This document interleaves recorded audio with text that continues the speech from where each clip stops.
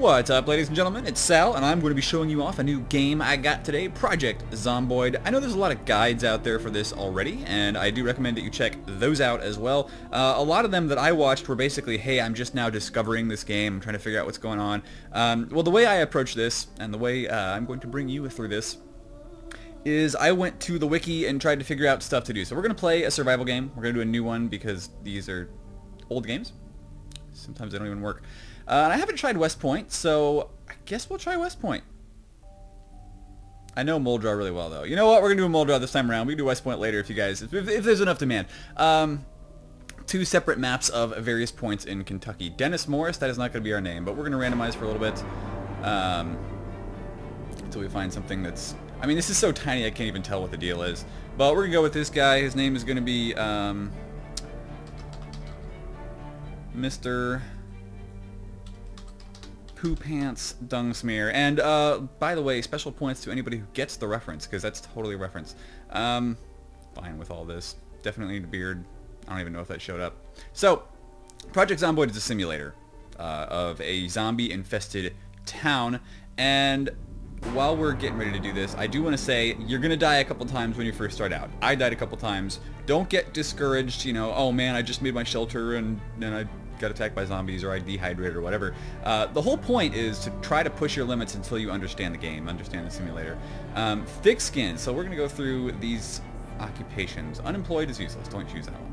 Uh, but as you're going through this, you want to find an occupation that gives you some kind of bonus that you feel like you're going to use a lot during the game. Depending on what your playstyle is, maybe you want to be combat heavy, maybe you want to be really uh, uh, sneaky and avoid zombies whenever possible. It's, it's up to you how you want to play the game. I like to play very combat heavy. Uh, and actually, it's extremely important for your first couple playthroughs to learn things like combat, so don't shy away from it. Just get right into it. Um, so double speed breaking through doors with the axe and a faster swing. That can be useful for combat, but what's actually, in my opinion, more useful is the construction worker, thick-skinned. Uh, and we'll go over exactly why that is later on. But the main reason is that uh, you get scratches and bites whenever zombies are like getting right up next to you. And if they break the skin, you've got a high chance of getting infected. Don't get infected. Thick skin, pretty cool. Handy, faster barricading. Gotta love that too. Uh, let's see, park ranger in case you want to camp outside or uh, or walk outside in the rain. Actually, that could be pretty useful police officer if you want to shoot your gun. Guns are loud, so you got to deal with a lot of zombies. You really need to have just a whole ton of ammo on hand if you're going to use a gun. I haven't done that yet, actually. And Night Owl. I, I tried this once, and Night Owl wasn't useful. Although it could have just been because I was always indoors, um, and zombies didn't get to me. But I'm going to go ahead and go with the Construction Worker. It gives you thick-skinned as a trait. That is always nice. And then we take a look through all this stuff. There's a whole bunch of stuff on here. Right now people take Light Drinker because it hardly ever hurts, but it gives you extra points to spend on some kind of other uh, positive thing. Like Light Drinker, it, unless you seriously want to go out and find all the whiskey in the world and just get your character shit-faced, uh, which by the way is an actual status in the game, eh, it's not something to worry about. Um, let's see. People really like Athletic if you want to be running a lot. I don't tend to run a heck of a lot. Graceful, I find, is pretty useful because it lets you sneak up on zombies right easily. Uh, stout, let's see, stout and strong are kind of both the same thing, except they're just different levels of the same thing. Strong can be pretty useful, but um, there's you get into stuff that's really bad after a while here. So light light drinker, short-tempered, hmm, quick to anger. I think we'll go with that one. So that gives us six points to play with. And we're going to choose. So strong, extra knockback, increased carrying weight is pretty useful when you're on the move. Light Eater is useful, resilient, less prone to disease, flow rate of notification. No, no, no, no, no, What do we want? What do we want, ladies and gents? I don't know. I haven't tried Athletic, but I think I'd rather try Strong. So we're going to do that.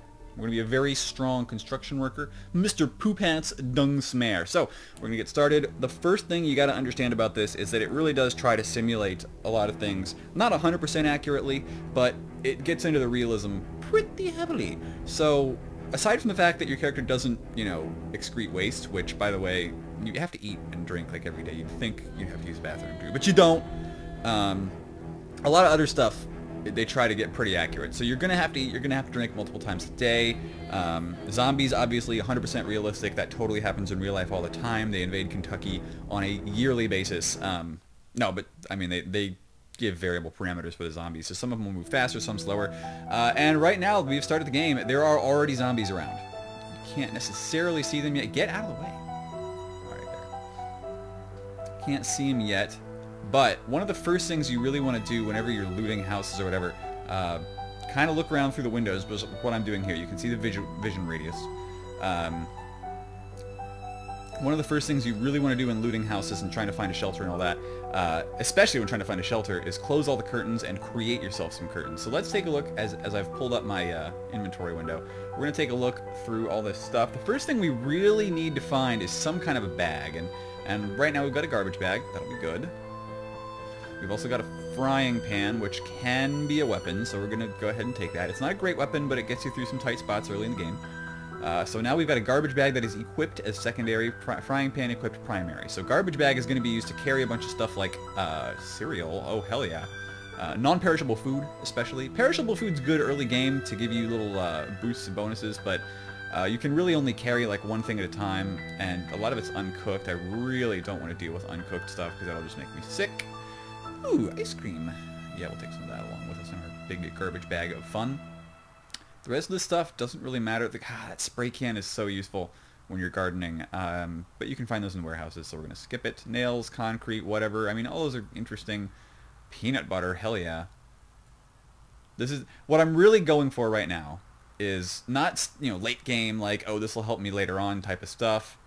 I am going to hold control here to open this door just in case there is a zombie in my bathroom. There's not.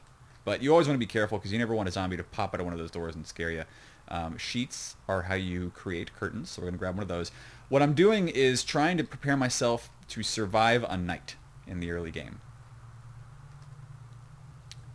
Newspapers, whatever. Uh, so what you really need to survive a night, in the early game, the water's still on, the electricity's still on, you need food, you need sheets, you need shelter that the zombies aren't going to break through. So, and I, I really also want to kind of give myself well positioned for the mid-game. Okay, zombies up that way. You see how I move my mouse around? I can see where the zombies are at.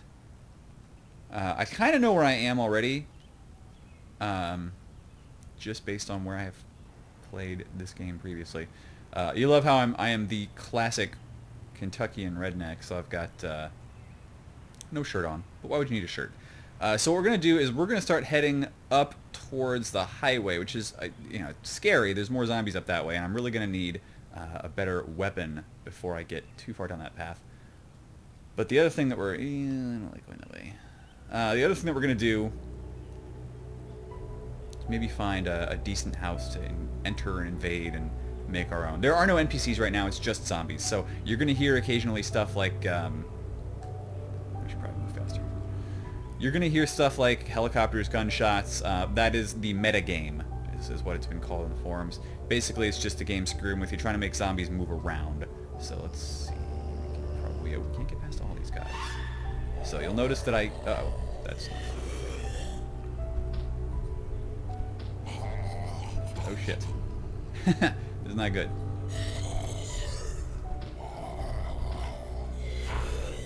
So you notice uh, one thing I'm doing here in combat is I'm trying to keep myself in swing range. Oh, there's too many of them now. I am leaving. And you'll notice that there is a, uh, little mood up here, panicked. Panic is no good. It reduces your accuracy, but every time you attack a zombie, whether it's through... Uh, yeah, we're in trouble. Uh, every time you go after a zombie, whether it be um, sneaking up on them to kill them or whatever, you're, you're always going to get some kind of panic mood. So, this is probably going to result in death for me, although there are ways to evade zombies. If you can get around a corner uh, so that they can't see you for long enough, then you should end up being okay. So we're just going to try and juke these zombies. And I think I may have been successful here. Zombie right there, too, in the grass. And you can kind of tell because he's disappearing. If it were a dead body, it wouldn't disappear. It would just stay there.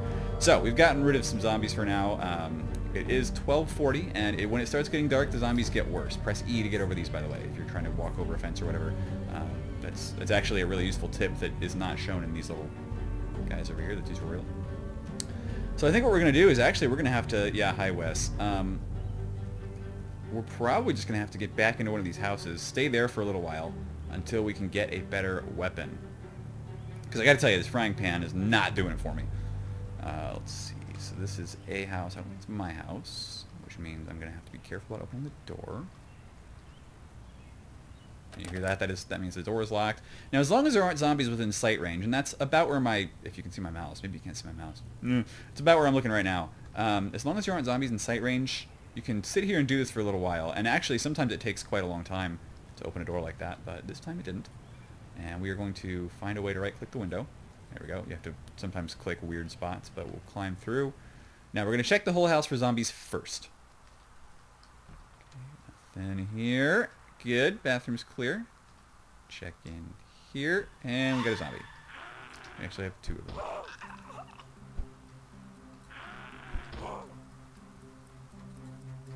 Oh, oh we got a crawler. Crawlers are no good.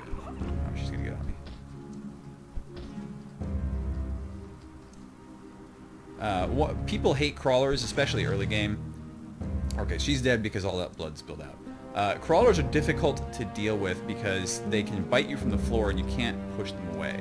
But you can get around them like this. And there we go. Destroyed a crawler. Now, um, we're going to go back to the old house in a minute. But for... Oh, shit. That's a lot of zombies out there. I don't like it. And one of them is going to look at this window and see me. That's okay for now.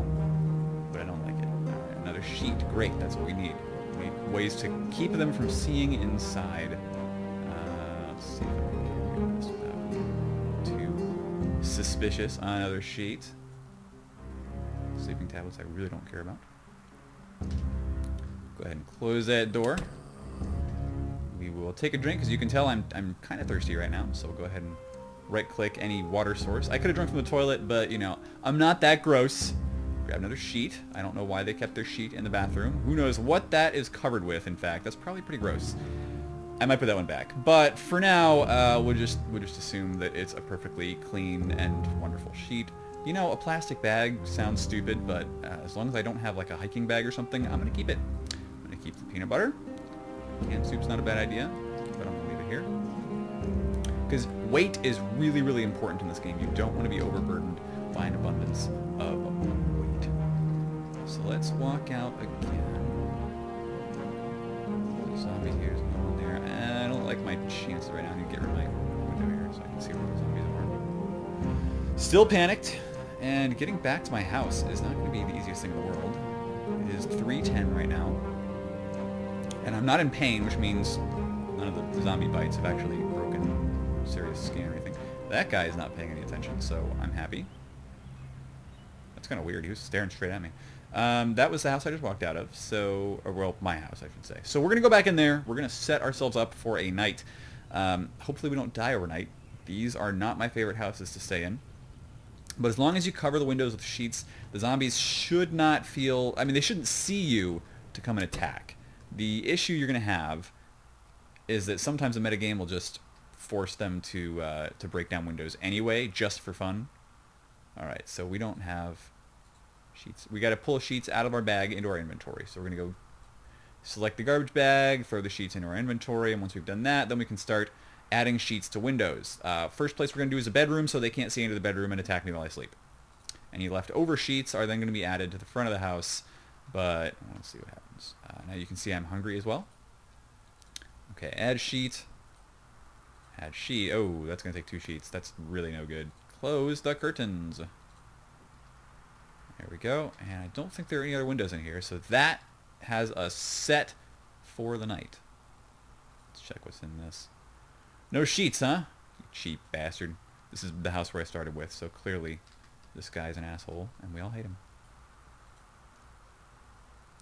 Let's see what's in his bathroom. Is it another dirty, disgusting sheet? No! Just a toothbrush and toothpaste, which we are definitely not going to use. We're also going to just kind of close that door. You may never even have to... Uh... How do you not have curtains in your house at all, you dick? Alright, uh, yeah. So this is a bad house. That's okay. Close curtains. Let's see. I don't see any zombies out that way, so the immediate threat I think might be from this direction.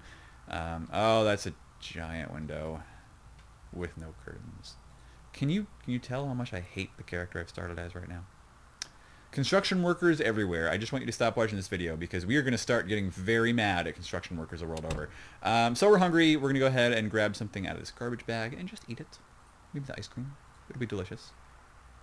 Oh, I'm so happy and slightly fed on ice cream. Now the world is right. It's 5 o'clock. I can sleep.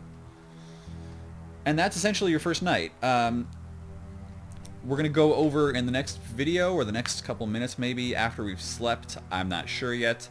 We're going to go over breaking into another house. We've already done that. But yeah, essentially what you're going to want to do is break into other houses until you, you know, and get to warehouses, which are essentially up north and east, um, which is where all the, the nice warehouses and fun stuff are. It's also where all the zombies are, so you kind of need a good weapon before you get there. Um, best weapons in the game so far are axes and baseballs. They're quiet, they have high damage. Crowbars actually are pretty good too, they're a little bit shorter range. But that's kind of what you want to be after until you can find a place to really set up and, and, start building yourself some construction stuff. We can go over construction. Actually, the easiest way for me to do that would be to load a different save. So I might do that, make another video showing kind of the construction and farming stuff in detail. But that's kind of how you start a game. Oh, real quick, let's just see if we got attacked. Nope. As long as it says overall body status okay, it means nothing's broken the skin, nothing's punched or bruised you. So all that fighting we did earlier, nothing hurt us. Could be because of the tough skin. Could be because we were pushing stuff away because we were strong. Um, I tell you what, we're just going to kill this character anyway. So we did what we had to do. It's been nice knowing you, Poo Pants Dung Smear. We're going to uh, we're going to go find a zombie to fight. What you'll notice is that he follows the mouse with his frying pan of plus four attacking. I think that's what it's called. He follows the mouse, and so wherever you're going, you want to charge up an attack like this. Especially when you see those zombies. So, eh, let's find one. Hello, zombies. How could there be no zombies here? This is ridiculous. I'm, I'm trying to prove a point, you dicks. Look. No, this is... No. Did they, did they leave? Well, I guess Kentucky sucks.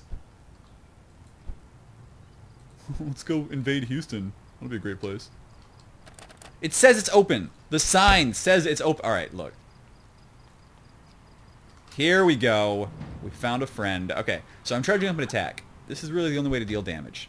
If you don't charge up your attacks, you're kind of just throwing little jab flurries. You notice he fell down, but he wasn't dead yet. You've got to double tap him like that. That's what I was doing there. As long as you were standing and facing the zombie that's fallen over, you can keep slamming him with whatever weapon you has until you hear the uh, the, the satisfying crunch and blood splatters all over the place.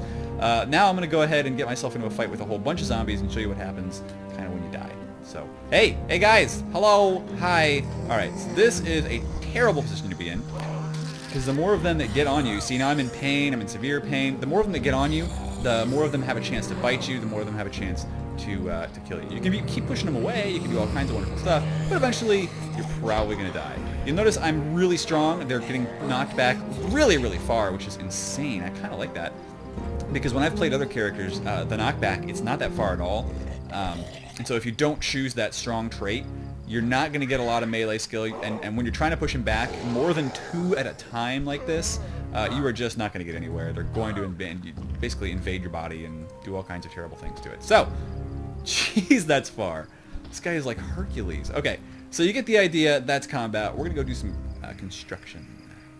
But I'll see you in the next video.